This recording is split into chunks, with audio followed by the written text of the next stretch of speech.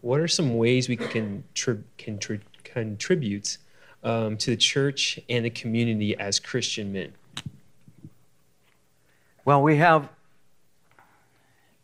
there. Well, gosh, there. That's a hard question because the Holy Spirit gifts you and the Holy Spirit leads you, and so, you know, for me, I can only again I, I personalize these questions because it, it's such a general question. It's hard to give a, a real good answer for it. But for me, before I was pastoring, I was available. And so I just wanted to be used by the Lord. And so I attended the church and I got to know people in the church. I got to be known by leaders in the church. And eventually the pastor came to know me. It was a small church that I'm thinking of right now. And he got to know me. He put me in a position on a board with him. He eventually made me an assistant pastor in the church.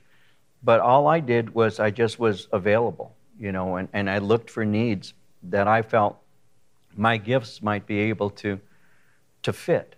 You know, again, I, my first ministry in the church um, that I actually did as a ministry to the church was uh, the chaplain on the softball team.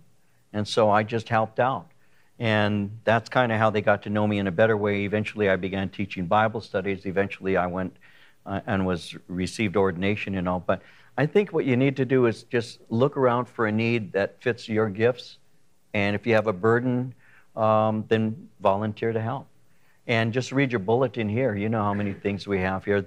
Um, you'll be, some of you fellows may not know, but we have, we have so many different ministries that are not even shown on the bulletin. But you can look at them and you, could, you can go to the web page. You can always, there's, we got over 50 different ministries that you could be involved in.